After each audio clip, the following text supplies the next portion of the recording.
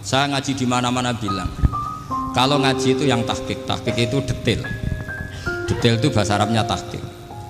Jadi kita misalnya berpikir secara jernih, orang yang kafir 70 tahun itu pasti menjadi muslim karena melafatkan la ilaha illallah. Dan itu bi ijma'il ulama. Semua ulama mengatakan demikian. Saya ulang lagi itu bi ijma'il ulama.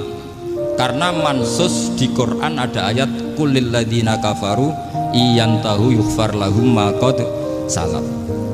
Kalau orang yang kafir 70 tahun bisa dihilangkan kekafirannya hanya dengan kalimat la ilaha illallah Muhammadur Rasulullah. Berarti kalimat ini statusnya apa? Penghilang kekafiran apa?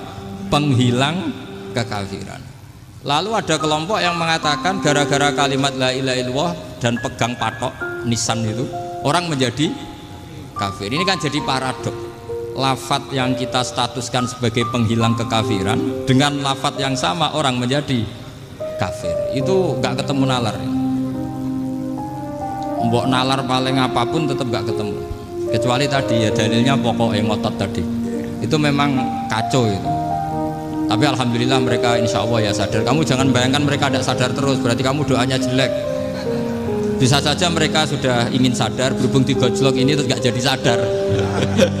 Jadi jangan-jangan salah kita karena sering gojlok sehingga yang mau sadar jadi tidak apa? Nggak sadar